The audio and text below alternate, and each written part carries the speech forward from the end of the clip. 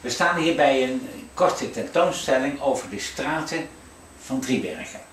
En zoals je hier ziet, ja, is dit het symbool van Driebergen. Dat is Sparrendaal, Huizen Sparrendaal.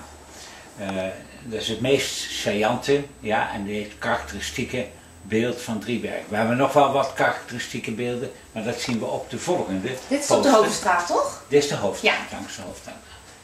Deze poster zie je de plattegrond van Driebergen en daar zijn uh, alle straten op herkenbaar die Driebergen heeft.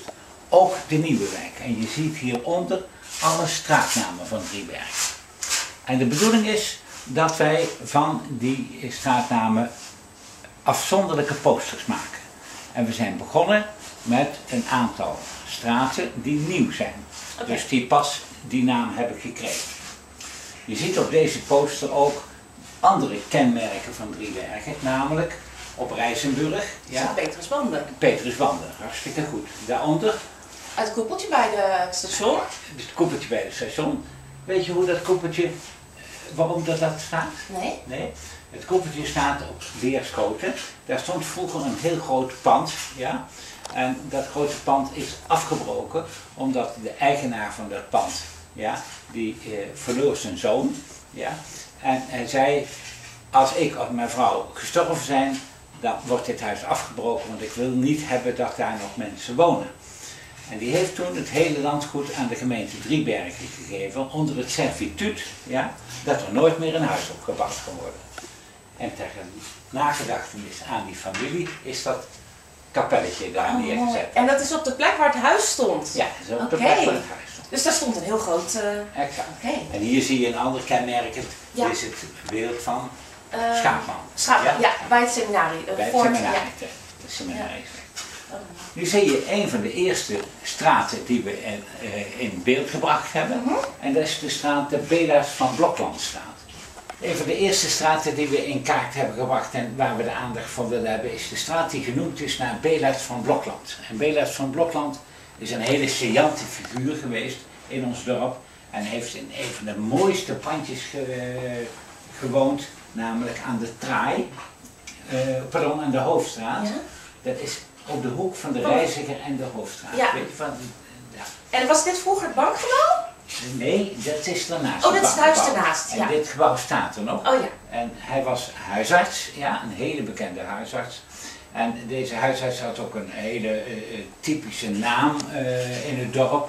Uh, als bijvoorbeeld zijn vrouw vond dat hij onmiddellijk thuis moest komen, dan hing ze de vlag half stok. Of ze had een teken dat hij onmiddellijk door moest rijden omdat er een bevalling opkomt zo communiceerde zijn vrouw met, zijn, uh, met haar man. Ja? ja, de tijd van telefoons en mobiele telefoons, ja dat was is natuurlijk er, nee. weinig. Ja. Hij is ook bekend omdat hij uh, heel lang uh, brandweercommandant is geweest. Dus hij is een hele bekende figuur. Zijn geschiedenis staat daar stuk in beschreven en waarom hij hier dus ook, waarom er een straat naar hem genoemd Ja. Vervolgens zien we hier een poster over de Geerlig Riemerhof. Wie was Geerlig Riemer? Geerlig Riemer is de, de oprichter zeg maar, van de IVA, Instituut voor de Autohandel. En hij is hier begonnen door uh, zijn grote liefde voor de auto en heeft hier een instituut neergezet in Driebergen wat landelijk een enorme bekendheid heeft gekregen. Ge, hij het is een, heel lang een particuliere onderwijsinstelling geweest. Oh, ik dacht dat het nog steeds zo was. Nee, het is op het ogenblik door een overheid ook erkende oh, HBO-opleiding. Waar je uh, kunt opgeleid worden voor allerlei beroepen, vooral in de auto. Ja. Het was een hele markante figuur. En als je nu weet dat op het ogenblik bijvoorbeeld duizend studenten ja, studeren aan de IVA. Zo. Ja, uh, waar hij de oprichter, zijn familie, zijn ook zoon en schoonzoons, hebben ook een tijd lang deze school geleid ja. als uh, managers.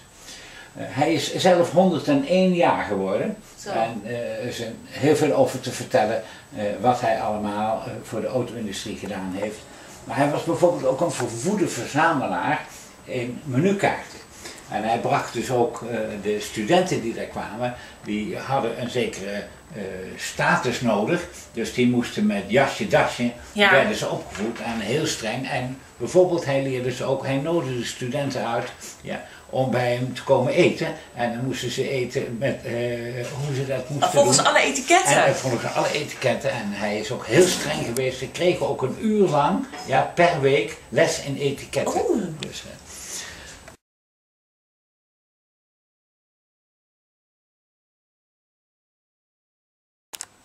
Barend Kaalhof. Ja. Dus dus ook een hof en niet een straat. klopt. En er is ook gelokaliseerd in de Groene Tuin, in het nieuwe gedeelte Ja. van Driebergen. Waarom is nou een straatnaam naar deze Barend Kraal genoemd? Enerzijds omdat het familie Kraal, ja, een van de oudste boekhandelen en kantoorboekhandelen is geweest die Driebergen ooit rijk is geweest.